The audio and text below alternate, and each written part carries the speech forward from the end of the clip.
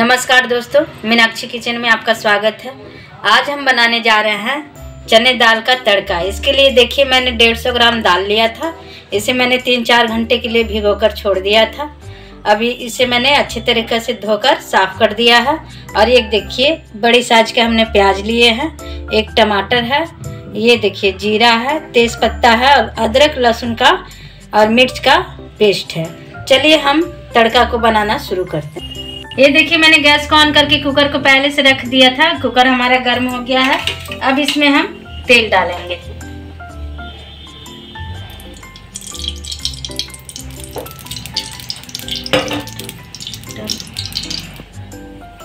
तेल हमारा गर्म हो गया है। देखिए के करीब मैंने हींग डाल दिया।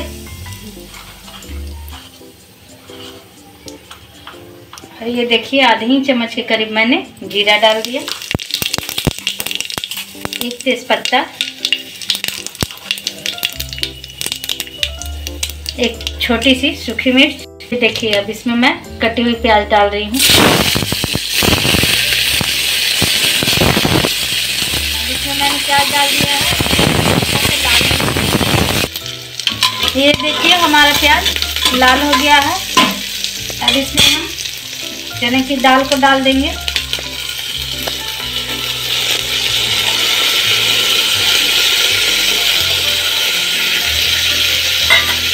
इसे अच्छे से चलाएँगे। अब इसमें हम कटे हुए टमाटर डाल देंगे। थोड़ी भूंजेंगे थोड़ी देर के लिए उसे हम लाल होने देंगे।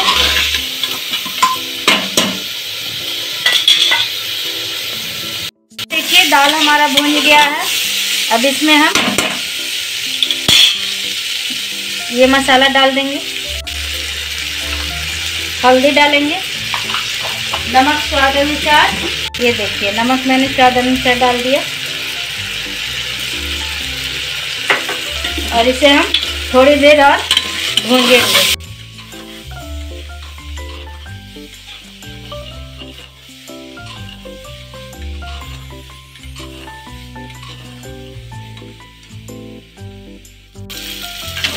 ये देखिए, हमारा मसाला दाल हमारा अच्छी तरीके से भून गया है। अब इसमें हम दो तीन के अंदर पानी डाल देंगे।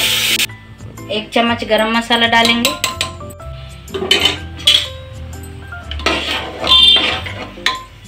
ये देखिए, एक चम्मच गरम मसाला डाल के अब हम कुकर का ढक्कन लगा देंगे और चार से पाँच सीटी होने तक हम इसका इंतज़ार करेंगे।